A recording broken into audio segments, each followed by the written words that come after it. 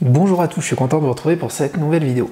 Il y a quelques jours, j'ai reçu un mail de YouTube m'expliquant que j'avais euh, accès au, Copyright Match Tool.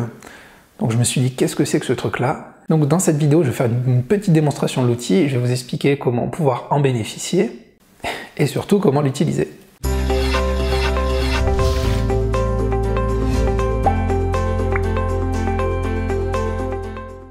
Donc voilà, aujourd'hui, il y a un problème qui est assez récurrent. Et plus vous allez avoir de la notoriété sur votre chaîne YouTube et plus vous allez être confronté à ce phénomène, il est facile aujourd'hui de télécharger une de vos vidéos sur YouTube, une vidéo à succès, la télécharger, euh, qu'un utilisateur se dise tiens je vais la récupérer et je vais la remettre sur ma propre chaîne. Voilà, certains vont faire ça, euh, c'est totalement illégal, hein, bien entendu, ce genre de pratique est totalement prohibé et vous n'avez pas le droit de le faire. Euh, le gros problème jusqu'ici c'était qu'il n'y avait pas moyen pour un créateur de contenu de vérifier cela, de, pouvoir savoir qui avait récupéré son contenu pour l'uploader, qui avait usurpé le contenu, etc. etc. Donc voilà, pour ça aujourd'hui, il y a un outil qui est génial, euh, que je ne connaissais pas, qui s'appelle le Copyright Match Tool. Euh, moi, pour être honnête, je l'ai découvert quand j'ai reçu ce mail. Je ne le connaissais pas. Alors voilà, je vais vous le lire. Vous en avez assez de vos contenus soient remis en ligne par d'autres utilisateurs. Nous avons une bonne nouvelle pour vous. Grâce au nouveau Copyright Match Tool, nous avons automatiquement identifié le contenu sur YouTube qui est semblable au vôtre. De votre, côté, vous n'aurez qu'à examiner les correspondances et décider des mesures à prendre. Donc dans l'idée, c'est génial. C'est-à-dire qu'il va détecter automatiquement pour vous quel a été... Euh, il, va, il va tout simplement fouiller votre chaîne regarder s'il y a des vidéos de votre chaîne qui ont été dupliquées et si oui, il va les lister euh, dans l'outil. Vous pourrez automatiquement vous-même, c'est-à-dire c'est pas YouTube qui le fait, vous pourrez vous-même euh, prendre des mesures. Donc je continue le mail. Le Match Tool en action. Euh, vous créez une vidéo puis vous la mettez en ligne sur YouTube. Nous vous informons lorsque nous trouvons des copies de votre contenu. Vous examinez les correspondances et prenez les mesures nécessaires. Donc voilà, je vous propose de découvrir l'outil en question. Donc je clique ici. Là, on se retrouve sur la version bêta du, du Creator Studio. Et vous avez un nouvel onglet droit d'auteur, ben voilà, très intéressant, dans lequel vous avez ce fameux outil qui va vous permettre de voir si, oui ou non, certains ont repris une de vos vidéos. Alors ce qui est bien, c'est que moi j'ai un résultat, j'ai un jeu d'essai à vous montrer, mais c'est pas une copie. c'est pas une copie, je vais vous expliquer cela après. En tout cas, l'outil, comment il est fait? Correspondance. Un premier onglet correspondance dans lequel YouTube va, euh, bah, va tout simplement vous montrer s'il y a une vidéo qui a été dupliquée. Demande de suppression, c'est les demandes que vous aurez pu faire. Et vous avez aussi message archive. Moi, dans correspondance, on voit qu'il y a une vidéo, donc test du matériel I Love Art euh, dans une peinture, par Anthony Chambaud. Donc ça, c'est le titre de ma vidéo euh, qui a été dupliqué et réuploadé. Et on voit en dessous le titre original de la vidéo que moi j'avais utilisé, qui est le test de la peinture acrylique I Love Art. Donc on peut ouvrir les deux vidéos, et puis bien sûr, ben, on voit que c'est très pertinent dans le sens où donc là, il y a la vidéo originale que moi j'ai mis sur ma chaîne.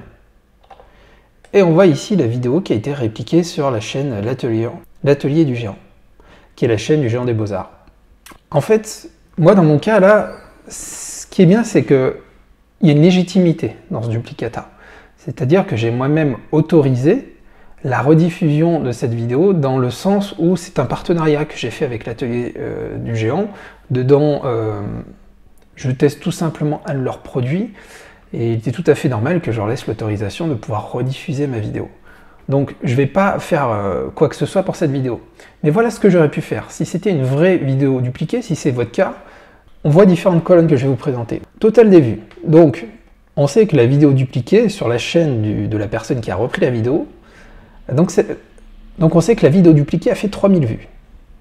On sait à quelle date elle a été uploadée, par qui, le nombre d'abonnés de la chaîne en question, le pourcentage de correspondance de la vidéo, donc ici en l'occurrence c'est 100%, vu que c'est la même vidéo c'est normal, et ensuite on va avoir les différentes actions possibles euh, par rapport à cette vidéo. Donc on peut déplacer dans l'archive, ça veut dire tout simplement euh, ok, il n'y a pas de souci, je ne la traite pas, je la mets de côté. Là on peut faire une demande de suppression de la vidéo, ce qui est très intéressant ici, si vous vous êtes fait voler une vidéo, ou vous pouvez contacter la chaîne en question si vous êtes un peu plus cool, euh, tout simplement en leur, demandant bon bah pourquoi tu m'as copié ma vidéo? Vous êtes bien gentil, mais maintenant il va falloir m'expliquer ça.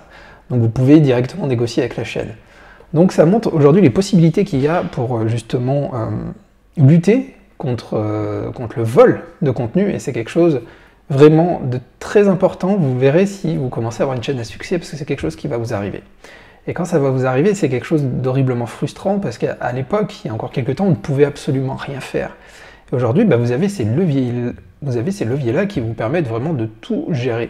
Alors aujourd'hui, vous avez, euh, vous êtes peut-être rendu compte que vous, sur votre euh, studio, sur votre créateur studio, vous n'avez pas cet onglet-là, droit d'auteur, vous n'avez pas encore la fonctionnalité. Alors vous inquiétez pas, c'est normal, elle est déployée en fonction du nombre d'abonnés, vous ne l'avez pas encore forcément tous. Si par contre il y a une légitimité par rapport à votre nombre d'abonnés, nombre de vues ou même copie de données, euh, YouTube vous l'aura automatiquement activé. Si ce n'est pas le cas, ça viendra bientôt. Voilà, donc ne vous inquiétez pas si vous ne trouvez pas l'onglet. Donc bah écoutez, si vous avez trouvé la vidéo pertinente, je vous remercie de mettre un petit pouce levé, ça me motivera à continuer à faire des vidéos. Chaque semaine, je sors plusieurs vidéos donc sur cette chaîne YouTube. Je vous propose aussi de découvrir ma petite formation gratuite des 21 techniques pour vraiment performer sur YouTube, dans laquelle je donne toutes mes astuces euh, pour performer, pour avoir de la visibilité. Et tout ça est calqué sur ma chaîne principale qui est une chaîne qui contient plusieurs dizaines de milliers d'abonnés. N'oubliez pas aussi de vous abonner à cette chaîne si vous voulez recevoir bah, du coup toutes les prochaines vidéos et d'activer bien sûr la petite cloche pour être notifié.